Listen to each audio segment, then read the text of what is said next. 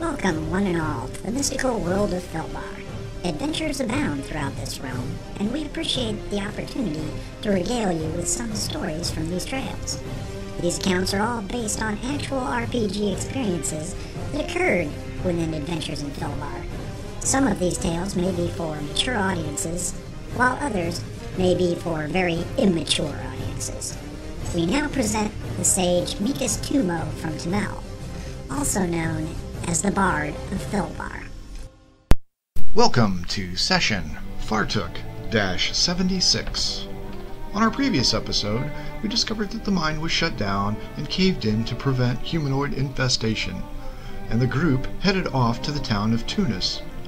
None of the adventurers had heard of it, but knowing that Geldor was carrying a sizable amount of wealth, including a portion due to the party, they opted to go with the miners as they continued their search for adventure. We rejoin them as they reach a walled canyon entrance.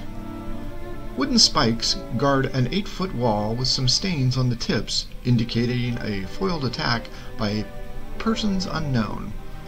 With Fargus and Lady Irena at the head of the column, Gildor's face broke into a broad grin, and he pulled back on the reins. Standing atop his seat, he raised both hands into the air and yelled back to the wagon train, exclaiming, We made it! The mage and ranger looked at each other, shrugging their shoulders. Tyra noticed their confusion and leaned over to the elven woman. On previous trips, we've been attacked and have lost members of our group. We consider ourselves quite fortunate that we had you to guard us. Lady Irena was shocked at the admission and leaned back in her saddle. Fargus saw the discussion but could not hear it as the mining group was cheering loudly. Gildor climbed down off the wagon and stretched out. Stomping up the incline to the front gates, he was flanked by Karina and Cabe Silvertongue, who had been motioned forward. The squat gnome pounded on the front gate, made of hewn timbers with a thick black coating.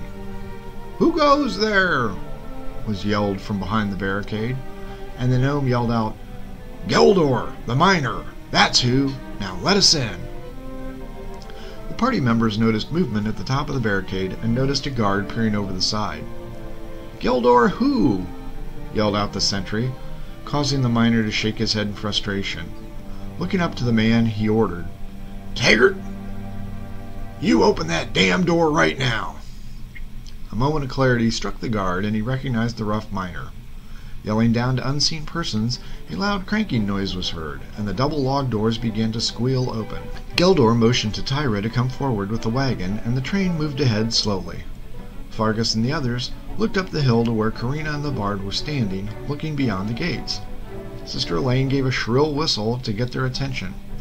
The pair turned around and looked rather slack-jawed, but waved their associates forward. The Delvers waited until the last wagon was through the gap before galloping their mounts forward. Lady Irena had relayed the information given by Tyra, which caused the group to become concerned. But with nothing but trees and the plains on the horizon, they deemed no danger and proceeded up to Cabe and the waif, turning their respective mounts to them. It was at this time that they discovered what had caused the pair to be so stunned. Tunis was a town larger than Colby. A small lake sat in the middle of the box canyon and was fed from a waterfall coming out of the mountain at the back. Tunis was a jewel in the wilderness that none of them had ever heard about. A garrison of 25 young guards protected the gate and closed it by moving oxen around a spit. Large wooden gears moved a thick timber which pushed the doors open and shut. The group turned back towards the lake and the town that surrounded it and were quite amazed by the sheer number of buildings. Notably, a large stone tower sat just off the lake. Roads encircled the town and used crushed stone to make them. The idyllic setting brought smiles to the PCs, and they watched Geldor make his way back to the wagon train to thank the party. Thanking them warmly for the escort, he asked them if they wanted their cut from the tomb or they were going to put it in the coffer box. The PCs looked at each other with confusion, but Karina spoke up first. Tunis has a coffer box? Geldor smiled proudly and shook his head. They sure do, and it's a big help to miners like ourselves. The party fidgeted nervously, but Bolger couldn't take the suspense any further. What in blazes is a coffer box? he demanded. The group looked to the miner and waif, who looked back at them with equally confused looks. Karina asked them if they had not heard of a coffer box and was stunned by their heads shaking negatively. Gildor laughed at the group's expense and pointed out that they should know, being famous adventurers.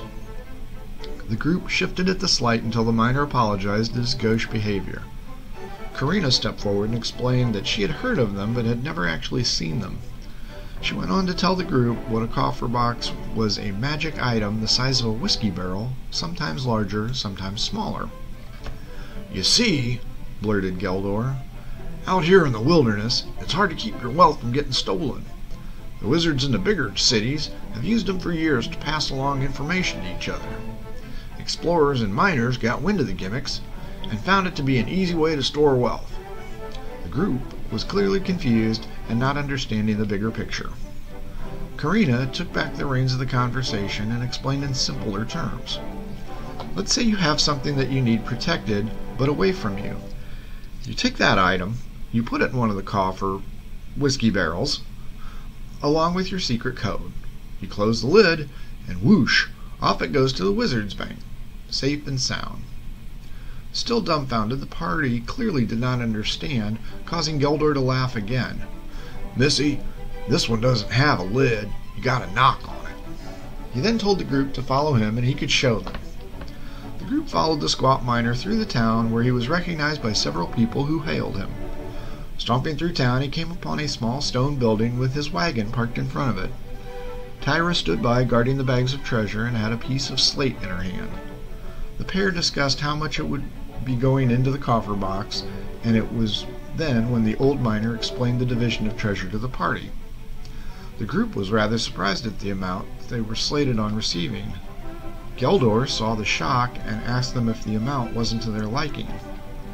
Sister Elaine spoke up and asked if he really intended on giving them 1,800 gold pieces worth of gemstones.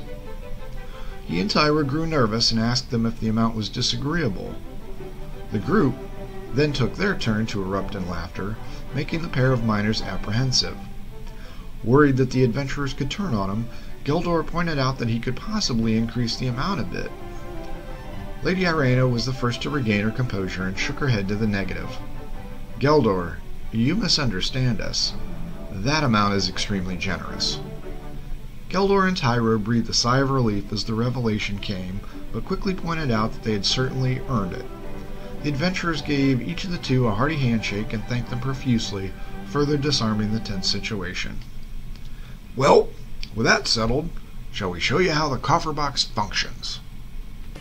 We close out this episode now and give you our thanks for listening. Please subscribe to this podcast and don't forget to follow us on Twitter at The Bards Podcast. For everyone in Adventures of Filbar, thanks for listening.